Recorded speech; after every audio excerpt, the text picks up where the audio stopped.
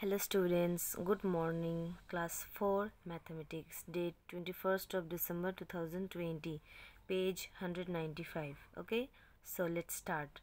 Complete the following table. Okay, টেবিলটি complete করতে হবে. Okay, so here look at this 12 hour clock time and 24 hour clock time.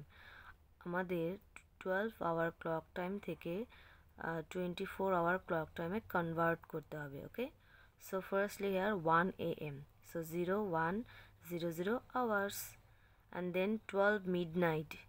So 24 0 0 or 0 0 0 0 hours. Okay?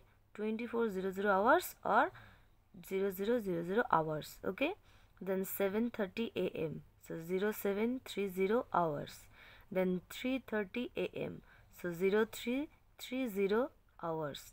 Then 4:15 pm so 1615 hours okay then 12 noon so 1200 hours okay 1200 hours and then 2:35 pm so 1435 hours okay then 0430 অর্থাৎ 4:30 pm so 1630 hours okay then 8:55 pm so কি হবে 2055 hours okay ওকে so তোমরা এখান থেকে এই টেবিলটি পর্যন্ত করবে ওকে থ্যাংক ইউ